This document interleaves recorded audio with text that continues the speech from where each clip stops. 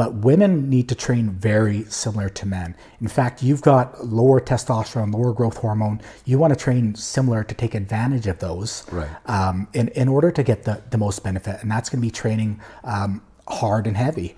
Um, to get all those benefits, um, there's certain cases when you're dealing with uh, certain demographics, like uh, pregnant women and things like that, Right, right. Uh, postmenopausal women, where you have to um, adjust accordingly. Right, right.